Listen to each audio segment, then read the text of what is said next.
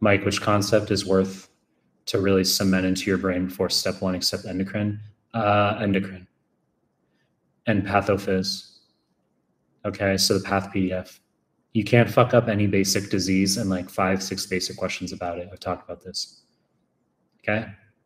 So any disease you can possibly think of, you got to be able to answer five, six basic questions about it. And endocrine. Those are the two main things you got to be able to do.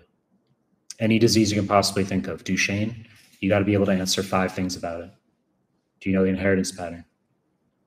If you don't, you're fucked. Okay. Duchenne XR. You got to know the difference between Duchenne and Becker. Like Duchenne's a frame shift, Becker is not. Right? Say the Gower maneuver, all that stuff's past level. But do you know what uh, the DMD gene codes for? Codes for dystrophin.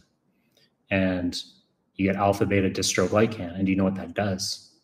It connects the cytoskeleton of the muscle cell to the extracellular matrix. You have to know that.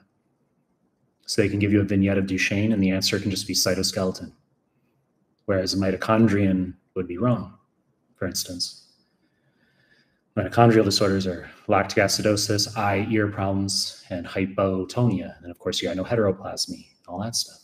So you got to be able to answer these basic questions. Right? Five, six basic questions about any disease. And you'll be ready in addition to endocrine.